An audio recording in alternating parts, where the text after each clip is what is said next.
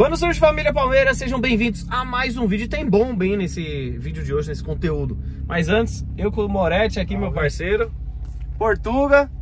Nós estamos indo para onde? Estamos indo para o aeroporto, rumo a Belo Horizonte, porque domingo tem Palmeiras e São Paulo pela Supercopa e nós estaremos lá, viu, rapaziada?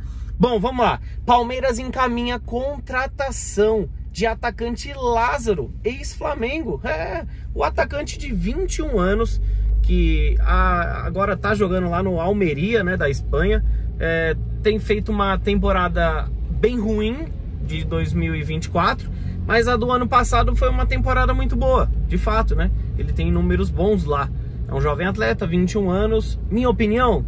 Hum, não conheço. A torcida do Flamengo não era tão fã dele não, viu? Se o Flamengo contratou Vinha, ex-Palmeiras, nós estamos contratando Lázaro, ex-Flamengo. Ai, ai. Que Deus nos ajude. Se o Abel aprovou, eu acho que pode ser uma boa.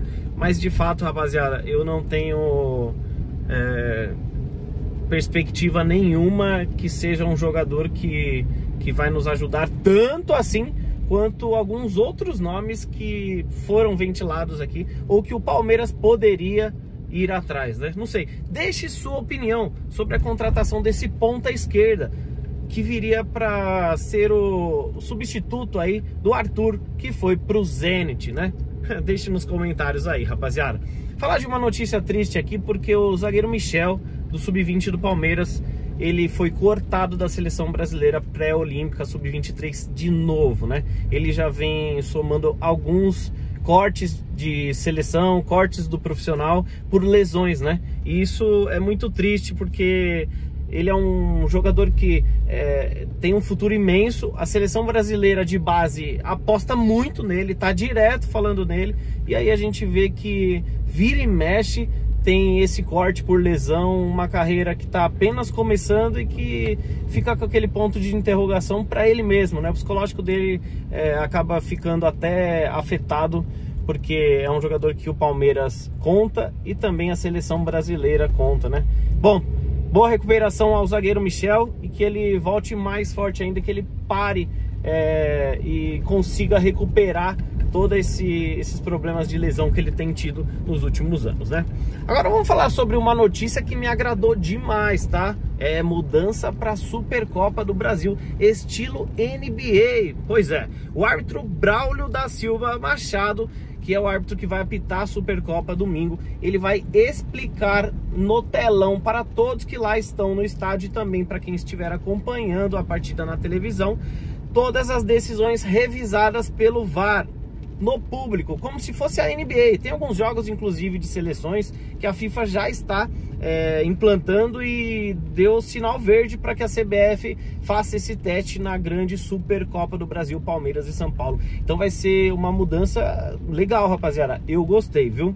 Vale lembrar também que o São Paulo pode ter um desfalque, assim como o Palmeiras, um dos melhores jogadores, né? O Hendrick, que é um dos melhores jogadores do Verdão, para mim foi o melhor ano passado, foi quem conseguiu trazer a gente para a Supercopa, na minha, opinião, na minha opinião, ele mudou o segundo semestre do Palmeiras.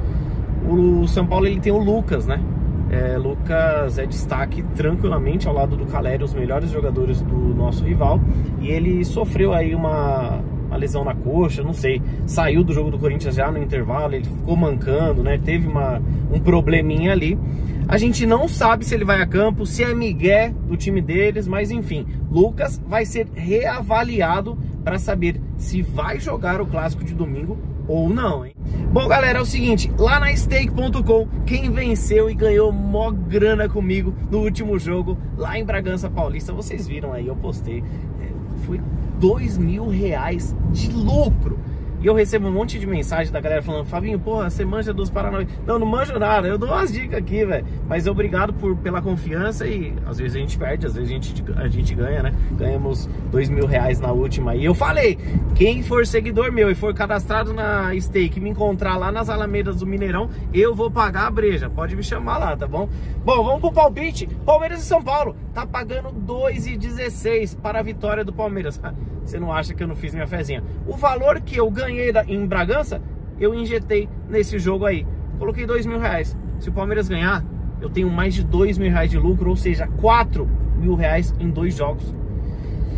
Eu tô confiante, rapaziada. E olha, além dessa, a Stake ela tá programando essa promoção para você ganhar até 100 de bônus a mais do que você já ganhou é, lá na stake.com. Entra lá no site, Coloque o cupom Parmeira, o código opcional Parmeira, leia as instruções, tudo certinho, como é que funciona. Eu vou deixar aqui do lado para vocês verem e tem uma promoção válida até domingo, até o início do domingo para esse jogo contra o São Paulo, tá bom, rapaziada?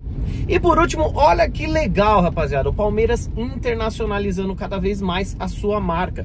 O Verdão inaugura uma escolinha de futebol em Dubai. É a primeira escola de futebol que o Palmeiras inaugura fora do país. E olha, além dessa em Dubai, lá nos Emirados Árabes, está previsto em breve na China e nos Estados Unidos também receberão academia de futebol do Verdão. Quem sabe a gente não cria mais crias da academia para fora do nosso país também. Bom, é isso aí. Estamos partindo rumo a Belo Horizonte. Amanhã, inclusive, nós vamos no jogo do Atlético Mineiro e Cruzeiro, a convite da rapaziada da Galoucura. Nós vamos fazer uma presença lá com eles, dar uma força.